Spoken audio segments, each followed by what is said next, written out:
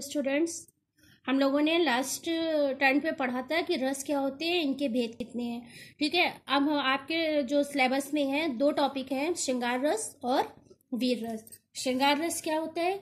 जब प्रेमी और प्रेमिका या नायक नायिका के मन में स्थित स्थायी भाव मतलब स्थायी भाव क्या होते हैं? रति या प्रेम से उत्पन्न आनंद को श्रृंगार रस कहा जाता है। ठीक है, श्रृंगार रस के दो भेद होते हैं, संयोग और वियोग श्रृंगार रस जिस रचना में नायक नायिका के मिलन का वर्णन होता है, वहाँ संयोग श्रृंगार रस और जहाँ इनके वियोग या विरह का वर्णन होता है, वहाँ पर वियोग श्रृंगार रस होता है। ठीक है?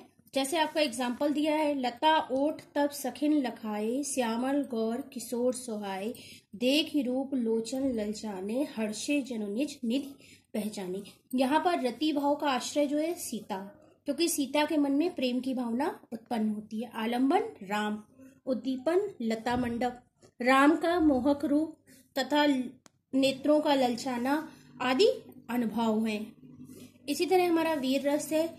जब हम कोई भी कार्य करने के लिए युद्ध अथवा किसी कठिन कार्य को करने के लिए हमारे हृदय में उत्साह नामक स्थायी भाव जो उत्पन्न होता है, उसे वीर रस कहा जाता है। जैसे विभाव, अनुभाव और संचारी भाव के सहयोग से जो उत्साह नामक स्थायी भाव है, इसी से वीर रस की उत्पत्ति होती है। जैसे उदाहरण है, मैं सत्य कहता हूँ, सखे सुकुमार मत जानो मुझे। यमराज से भी युद्ध में प्रस्तुत सदा मानो मुझे। ये अभिमन्यु का कथन है।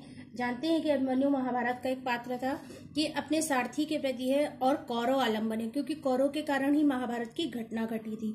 अभिमन्यु आश्रय है, क्योंकि अभिमन्यु के मन में भाव उत्पन्न हुए हैं। और इसी कारण यहाँ पर वीर रस की प्राप्ति होती है। क्लियर